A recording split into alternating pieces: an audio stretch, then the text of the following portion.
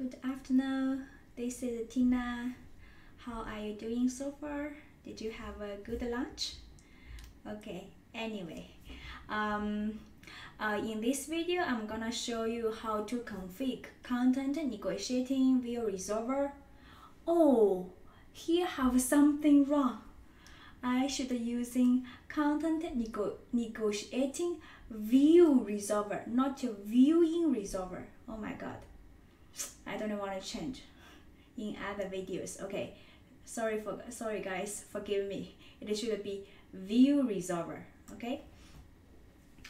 Uh, just to find out the mistake. Mm. Most of the Spring project nowadays we are using the Java classes to do the configurations. Probably uh, in some legacy application or you still prefer to using the XML. So in this video, I'm gonna show you how to using the XML to configure like a JSON view and the XML view, okay. I create a new project. The new project is called the Content Negotiating View Resolver XML version. And uh, the I remove the Java classes uh, configuration, Java configuration classes, and uh, have a product and uh, to controller and have a regular product module. And here I already set up an application which has the internal resource view resolver for resolve JSPs. And uh, in the web.xml, I have the dispatcher servlet, okay, to find our uh, Spring MVC configuration, which is a, a, web application context, okay. And uh, in the POM, I already have the dependencies. This one is not needed for the XML version, but for Java config version, you have to have it here, okay? And have a Spring MVC, Web MVC.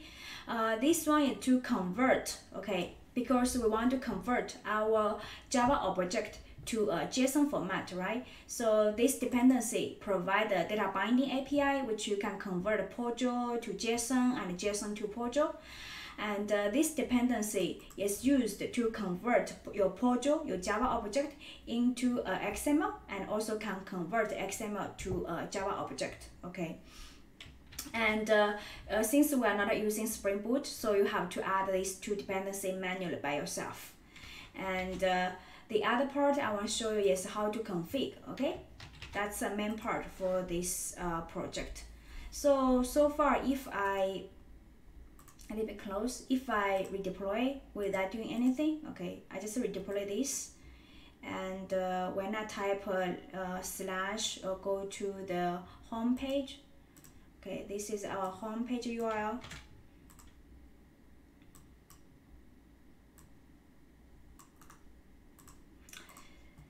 This is my homepage URL. Okay, it will show the index.jsp, and if you go to list, it will also show index.jsp and if I type JSON, if I type XML, no changes, okay. And uh, the next step for the content negotiating view resolver, you just define beans, okay. So we define the first bean, uh, the class is the content negotiating view resolver, okay. And uh, do you remember when we do Java config, we use something called a set default views. And in the default views, it asks a collection of the view, right? So here in XML, using property called the default views. In this property, it asks for a collection, okay, the list, okay. In the list, then you can using a reference, reference to different to the uh, JSON view, XML version uh, view, or other like a PDF or Excel uh, view, okay? For each of the view, you just define a, another bean, right? Do you remember we have two ways? One is using annotation bean, define a mapping uh, JSON to a JSON view. And the other one, we directly using the list.add, then you have what thing? New mapping JSON to the XML uh, view. So how to define a bean? You still using bean? Uh, this time you have to give ID. Suppose this one is a JSON view. And you have a class like uh, mapping to uh, mapping JSON to JSON to the JSON view. Okay. And uh, then here also has some properties like if you want to have a print print you can have this one the value is uh, true okay? And oh sorry. And suppose you want to have a XML version uh, you just define another one called the XML view okay? And the class is called uh, what? Uh, mapping Jackson mapping Jackson to XML view this one and here also has the other properties. If you want to customize you can customize attribute say a map bean name all the things okay. Uh, uh, next one is since you have a two the JSON and XML view, you just add into this default views can be resolved by this uh, uh, can be delegated uh, by this content negotiating view resolver. Okay, so how do that? Using reference and you can use a bean and you can choose JSON and then you can choose XML, okay? Register here. Because the content negotiating view resolver itself doesn't resolve the JSON and XML. You have it will delegate, okay? It will see, oh, do I uh, have a reference to the JSON? Do I have a uh, view? Do I have a reference to the XML? If it has, it will delegate the actual task to the mapping Jackson to the JSON view and the mapping Jackson to the XML view, okay? So after we do the configuration here, okay, then we will deploy.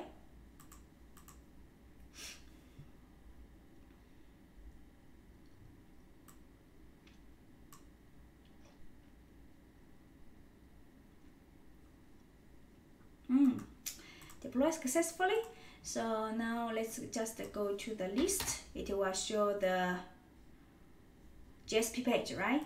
And uh, if we go to the XML, it will display the XML and uh, if we do the JSON dot JSON it will show the JSON view okay so uh, this is how we configure for the, using the XML you define the bean for the content negotiating and define the views for the JSON and XML and do remember to make sure you have uh, the two dependency uh, to convert Java objects to the JSON and XML and for the XML, still have the same problem uh, when you're using Java config. If you watched my previous video, you have you already see.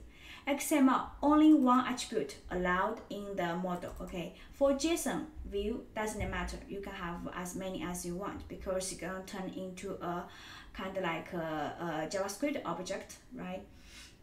So it is the key value pairs, okay?